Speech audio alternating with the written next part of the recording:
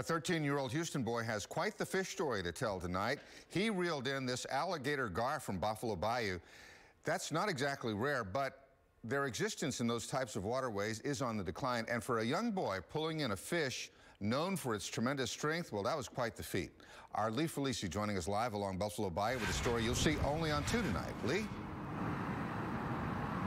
Bill, well, it is right here along the banks of the Buffalo Bayou is where this 13-year-old likes to fish. And he tells me he wears a GoPro camera clipped to his chest so he doesn't miss a thing. When Jake Berlin is not at Presbyterian Middle School or on the mat wrestling, recently he took first place at the Houston Area Wrestling Championship, this 13-year-old can be found. This is the biggest fish in my life. Fishing on the banks of Buffalo Bayou this weekend.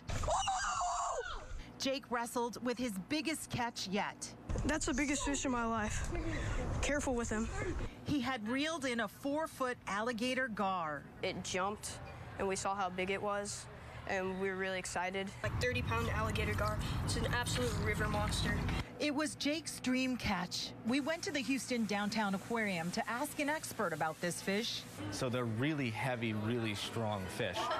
Um, so the fact that someone was able to catch one that size is actually pretty remarkable. This fish is almost eight foot. Alligator gar get their name from their alligator-looking snout and mouthful of teeth. A Katy man caught and released this monster big one in the Trinity River two weeks ago. The fish can top out over eight feet and over 300 pounds. I am still like in shock right now. After capturing the moment on video, this is the happiest, biggest fish I've ever caught. Jake let his alligator gar go, but was left with one whale of a tale to tell his friends. Nice job. What a catch.